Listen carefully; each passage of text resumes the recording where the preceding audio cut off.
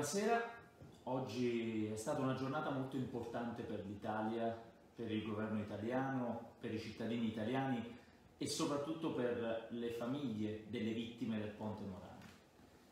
Oggi, grazie all'azione del governo, abbiamo estromesso il Benetton dalla gestione delle nostre autostrade, di tutte le migliaia di chilometri che gestivano in Italia. Io mi ricordo ancora quando la sera del 14 agosto del 2018. Io ero vicepresidente del Consiglio, il ministro delle infrastrutture era il ministro Danilo Toninelli. Eh, subito dopo il crollo del Ponte Morandi ci sentimmo a telefono. Avevamo una lunga conversazione in cui pianificammo, per volontà del Movimento 5 Stelle nell'allora governo giallo-verde, la volontà di togliere la gestione delle nostre autostrade del Benetton perché avevano fatto crollare quel ponte, era evidente sin da subito che non avevano fatto la manutenzione adeguata e soprattutto in quei giorni in cui avevamo decine e decine di morti e famiglie disperate, non chiesero neanche scusa. Se ve lo ricordate ci sono voluti giorni dal crollo a quando abbiamo sentito scusa. Devo dire che ci sono voluti giorni anche per leggere Benetton sui giornali.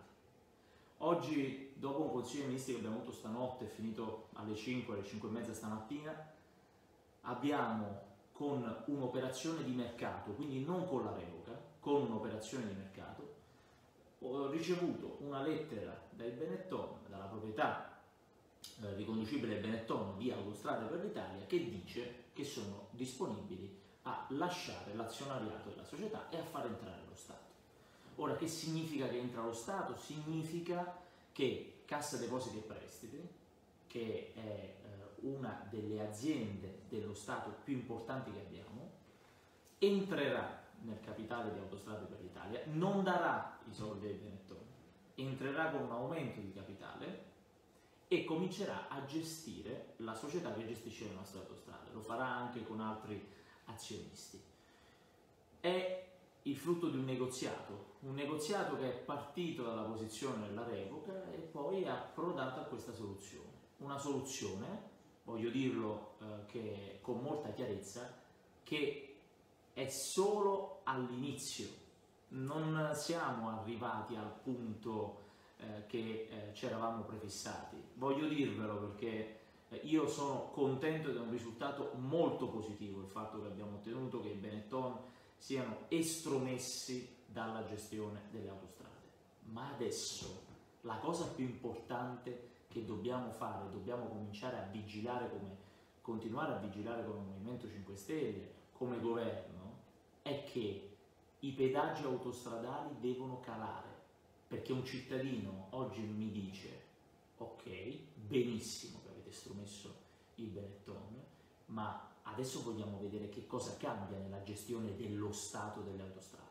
I pedaggi devono calare, bisogna assicurare più investimenti nella sicurezza, che è quello che non avevano fatto i Benetton, infatti è crollato il ponte Morandi, e allo stesso tempo dobbiamo anche innovare e quindi investimenti nell'innovazione.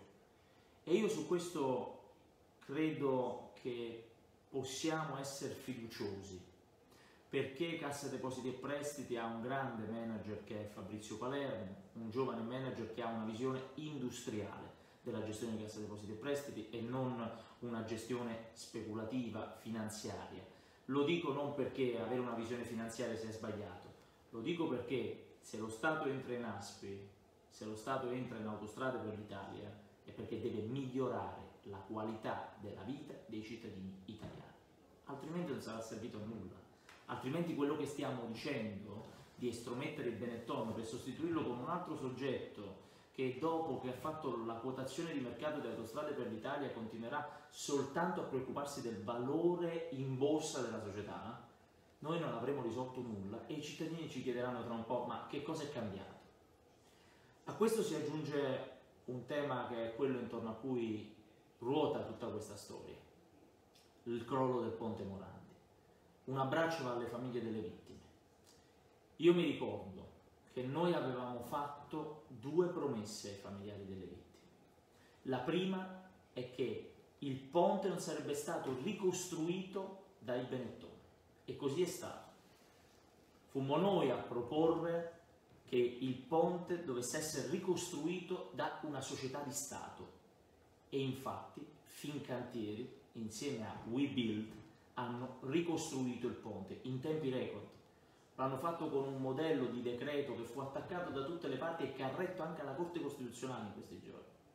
E ancora una volta i miei complimenti vanno a Danilo Toninelli, al Presidente Conte, perché abbiamo lavorato insieme a lui in tutti questi anni per ottenere questo risultato e va anche al Ministro dei Trasporti attuali, attuale Paola De Micheli, a tutto il Consiglio dei Ministri, al Governo, che è riuscito ad ottenere questo risultato, un risultato che era la seconda promessa. Avevamo promesso di non farlo ricostruire il Benetton, avevamo promesso alle famiglie delle vittime che i Benetton non avrebbero più gestito le nostre autostrade.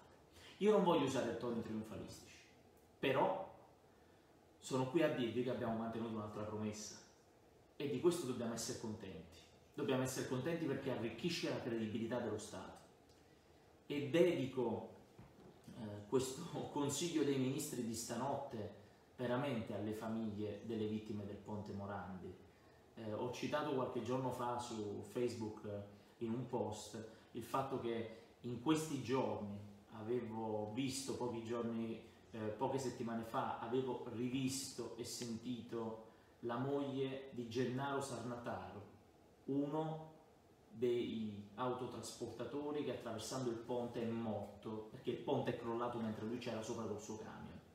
Lasciava due figli, aveva credo 43 anni, era quindi un autotrasportatore che faceva il suo lavoro nel bel mezzo di agosto, lo ricordo il 14 agosto del 2018 a lui e a tutte le vittime va il mio più grande ricordo e a loro dedichiamo anche questa seconda promessa mantenuta. Ora c'è da mettersi al lavoro, c'è da mettersi al lavoro perché la revoca non è esclusa. Qualcuno dirà ma lei era per la revoca, io sono per la revoca se non si ottiene il risultato che ASPI abbassa le tariffe autostradali, la nuova ASPI con lo Stato dentro, che fa più investimenti, che guarda la mobilità del futuro, perché per uno Stato gestire le autostrade significa avere una visione strategica di che cos'è la mobilità del futuro, adeguando le autostrade, le proprie infrastrutture viarie alla mobilità del futuro e che soprattutto assicuri la sicurezza ai propri cittadini. Eh, è stato un lungo percorso, un lungo percorso legislativo, poi un lungo percorso amministrativo e in questo io non posso che dirvi che sono orgoglioso di essere nel Movimento 5 Stelle ce lo dobbiamo dire. Questo non vuol dire che non abbiamo lavorato bene con le altre forze politiche, io lo dico chiaramente, abbiamo lavorato benissimo con il Partito Democratico nell'ottenere questo risultato, abbiamo lavorato benissimo a livello di governo, però questo tema l'abbiamo posto noi e questo tema non l'abbiamo posto solo dopo il crollo del ponte Morandi. Io ricordo nostri senatori e deputati che nei cinque anni all'opposizione già ponevano il tema delle concessioni autostradali. Perché al di là del crollo del ponte Morandi, ricordiamoci che questi erano contratti di cui non può beneficiare, non può beneficiare nessuna impresa italiana. Erano contratti blindati che ti assicuravano rendite decennali a oltre il 7% di guadagno fisso e anche se lo Stato te le toglieva ti doveva dare tutti i soldi degli anni per cui era stato firmato il contratto. Sono state fatte cose ignobili e se non ci siamo riusciti col vecchio governo è perché nel vecchio governo con la Lega abbiamo avuto enormi difficoltà anche solo a fare il passo di minacciare la revoca per poi nel negoziato ottenere l'uscita dei Benetton. In questo governo ce l'abbiamo fatta. E questo secondo me è un tema che attiene a tutta la questione delle nostre infrastrutture strategiche.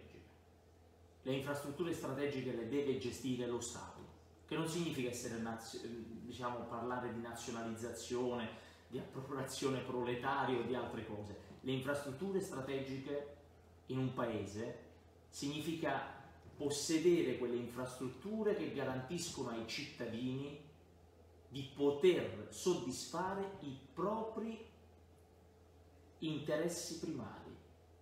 Il bene comune che cos'è? Il bene comune è un bene necessario alla sopravvivenza dell'individuo. È sempre stato nel nostro spirito di movimento il bene comune. E le infrastrutture sono uno di quei beni necessari alla sopravvivenza dell'individuo. Questo non vuol dire che non ci deve essere mercato, anzi, il mercato va eh, spinto, incoraggiato, va implementato, ma ci sono delle infrastrutture che è meglio che le gestisca lo Stato, perché altrimenti, se si piegano alle logiche del business, succede quello che è successo col Ponte Morandi, che per risparmiare crollano i ponti. Tutto questo ve lo dico e sentivo il bisogno anche di fare questa diretta perché era un po' di tempo che non ci parlavamo, stiamo lavorando tantissimo, stiamo lavorando su dei dossier anche molto complicati come questo e è stato anche un bene aver parlato poco in tutti questi mesi di questo obiettivo per poi poterlo ottenere e dirvi di averlo ottenuto.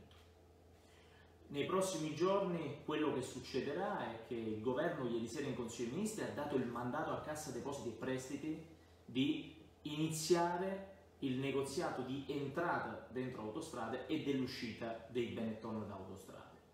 Noi speriamo di poter vedere subito buoni risultati, il prima possibile, buoni risultati sulle tariffe autostradali, magari delle aree della rete autostradale in cui non c'è bisogno di pagare così tanto al casello, buoni risultati sulla messa in sicurezza delle infrastrutture, che poi significa investimenti, significa lavoro per tante persone, significa cantieri, e buoni risultati sul tema anche dell'innovazione, un tema importantissimo perché innovazione nella mobilità è il futuro che abbiamo davanti e quando si fanno questi progetti bisogna tenerne in questi mesi abbiamo fatto delle norme importanti per ottenere questo risultato, un'altra è stata la modifica al mille proroghe e su questo il vice ministro Giancarlo Cancelleri ci ha lavorato tantissimo. Una modifica che ha permesso di cominciare a parlare di revoca, anche se poi abbiamo fatto un'operazione di mercato. Io vi assicuro che oggi parlo a voi sul tema delle autostrade, non facendomi prendere da facili entusiasmi, non dicendovi che è tutto semplice, dicendovi che c'è ancora da combattere e dobbiamo ottenere il risultato finale. Il risultato finale non è l'entrata dello Stato nella gestione di ASP, quello è lo strumento, quello è il veicolo. Il risultato finale è farvi percepire il cambiamento, sia nella qualità delle infrastrutture che usate ogni giorno e sia nel prezzo e quindi come impatta sulle vostre tasche. Thank you.